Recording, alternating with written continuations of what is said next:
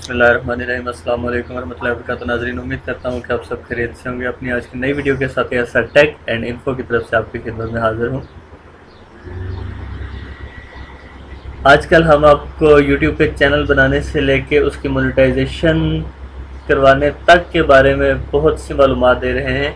तो आज की भी वीडियो हमारे इसी सिलसिले में है कि मोनेटाइजेशन के दौरान असल में यूट्यूब वाले आपकी क्या चीज़ें चेक करते हैं, कि क्या क्या चीज़ें आपकी होनी चाहिए तो उस वजह से रिव्यू में जो है वो आपका चैनल जो है वो एक्सेप्ट हो सकता है।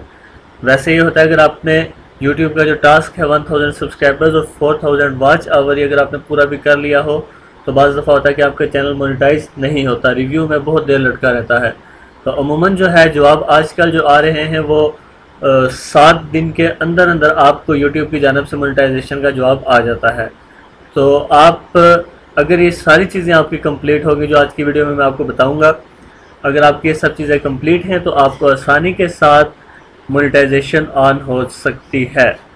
तो चलते हैं उन चीज़ों की तरफ़, मगर उससे पहले अगर आपने अभी तक मेरे चैनल को सब्सक्राइब नहीं किया तो प्लीज़ चैनल को सब्सक्राइब कीजिए और वीडियोस को लाइक भी कीजिए।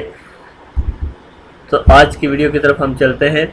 सबसे पहले जो मेन चीज़ है, आपकी जो टाइटल है, आप वीडियो का टाइटल लगाते हैं, वो स्ट्रॉन्ग और अच्छा होना चाहिए, कि लोग उससे अट्रैक्ट हों। उसमें मिस स्पेलिंग नहीं होनी चाहिए गलतियाँ नहीं होनी चाहिए। अच्छा टाइटल होना चाहिए। फिर इसके अलावा टैग्स जो हैं यूट्यूब वाले टैग्स भी चेक करते हैं।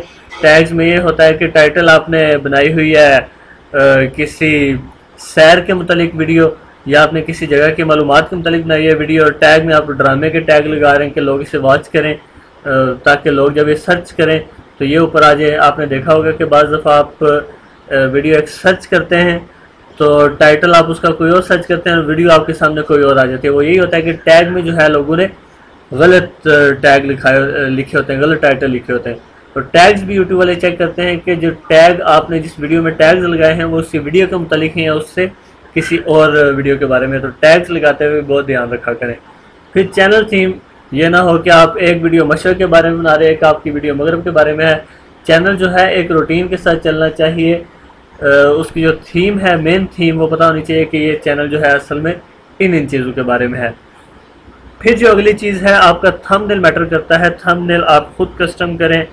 मैंने कुछ वीडियोस पहले थंबनेल बनाने का तरीका बताया था। बहुत ही अच्छी ऐप है पिक्सल ऐप आप उसे यूज़ करके आराम से थंबनेल आसानी के साथ कुछ ही मिनटों में बना सकते हैं।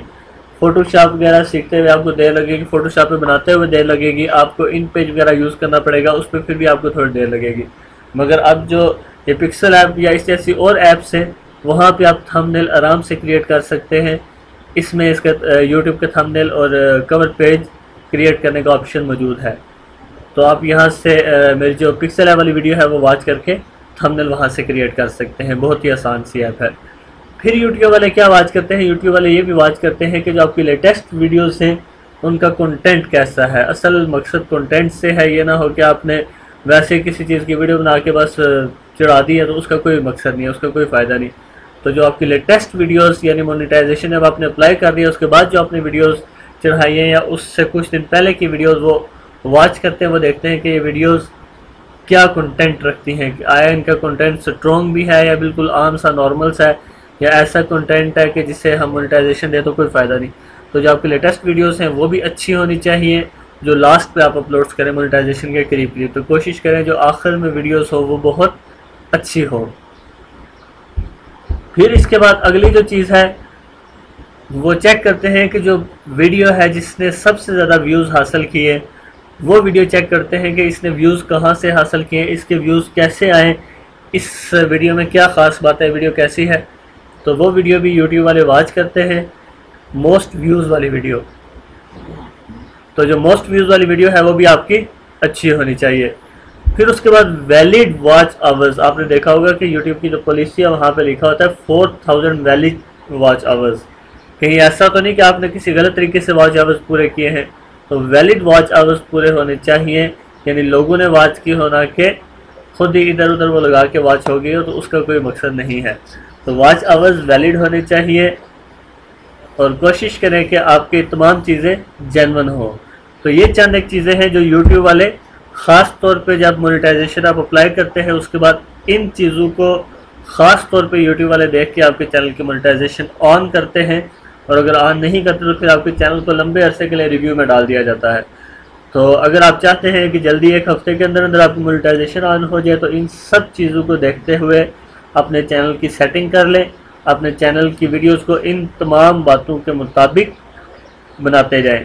तो उम्मीद करता हूँ कि हमारी वीडियो आपको पसंद आई होगी। नई वीडियो के साथ इंशाल्लाह जल्द आपकी खिदमत में हाजिर होंगे। अल्लाह हाफिज़। Thanks a lot thanks for watching our videos